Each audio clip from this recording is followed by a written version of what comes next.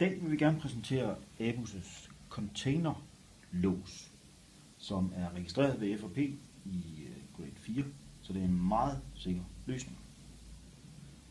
Den øh, leveres enten med en øh, granithængelås med en ekspusnøgle, eller med 8380, hvor der kan isættes en øh, ovalcylinder, så den kan passe til eksisterende låssystemer eller andet.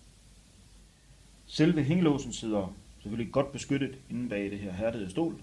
Øh, containerlåsen åbnes ved, at man fjerner det der cover, som beskytter selve cylinderen, for at der kommer snavs og deslige i.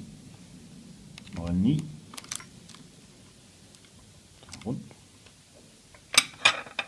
Fjern den 100 mm løse bøjle.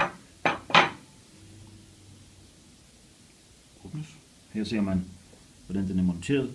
De to dele med en meget kraftig gennemgående bolt. Lukkes.